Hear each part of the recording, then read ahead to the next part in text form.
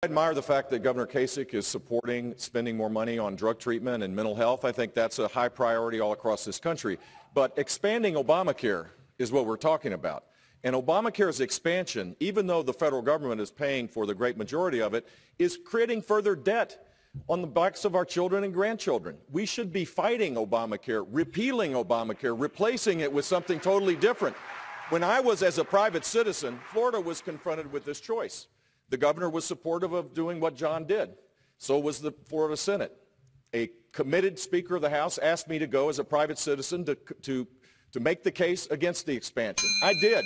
And it wasn't expanded there, just as it wasn't expanded in South Carolina under Governor Now, let Haley. me- let me- real quickly, yeah, jump let in. Yeah, Then I got a question for couple Governor Bush, but jump in. First of all, when Jeb was governor, her- his first four years as governor, he expand his Medicaid program grew twice as fast as mine. Okay, it's just a fact. Now, with Obamacare, I've not only sued the administration, I did not set up an exchange, and he knows that I'm not for Obamacare, never have been. But here's interesting about Medicaid.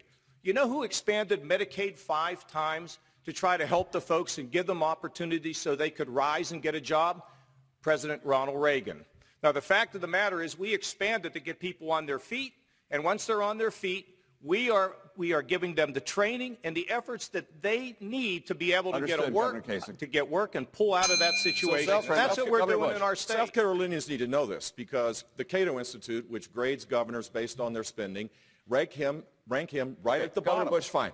Uh, and we- we Governor wanna get to Haley's the- ranked at the top. Let me get a question No, to you you mentioned that. my I understand. name, I understand. Garrett. no, no, Let me no. finish this. Wait, wait, wait, This wait. is Hold on, important. Major. Hold on, Major. I South Carolinians want to make sure that they elect the, The most pe- conservative governor or candidate that can win.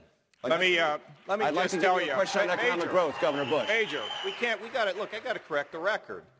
And the fact of the matter is, we went from an $8 billion hole to a $2 billion surplus. We're up 400,000 jobs. Our credit is rock solid. And I don't know, look, the bottom made, line Governor. is the people of this, of this country and this state want to see everybody rise and they want to see unity. And I don't want to get into all this fighting tonight because people are Understood. frankly Governor sick of the negative campaigning. And I'm going to stay positive about what Governor I Bush, want to do From to the perspective of economic growth,